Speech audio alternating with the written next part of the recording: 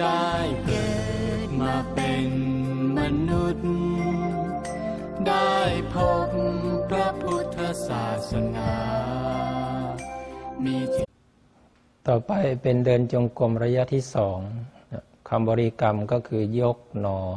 เหยียบหนอ การกำหนดอื่นๆก็เหมือนเดิมนะถ้าโยคีใหม่ก็ไม่ต้องมีต้นจิต แต่โยคีเก่าก็ใส่ตัวอยากก่อน ยืนหนอ ยื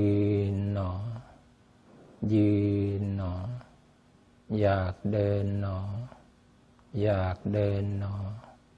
อยากเดินหนอ ยกหนอ เหยียบหนอ ยกหนอ เหยียบหนอ ยกหนอ เหยียบหนอยกหนอเหยียบหนอยกหนอเหยียบหนอยก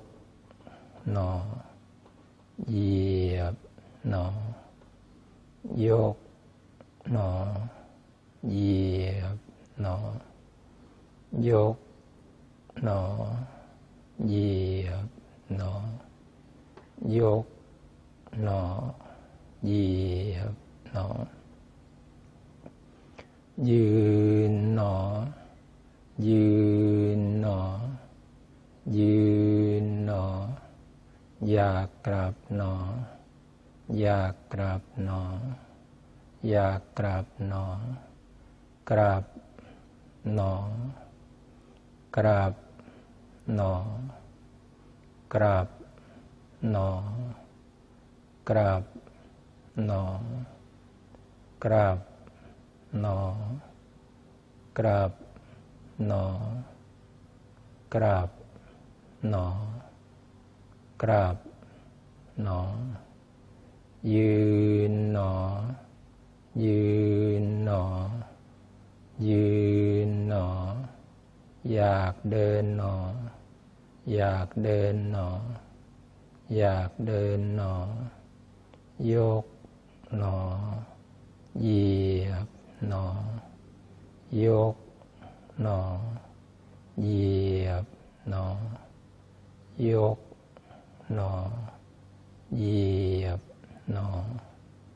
ยกหนอ เหยียบหนอ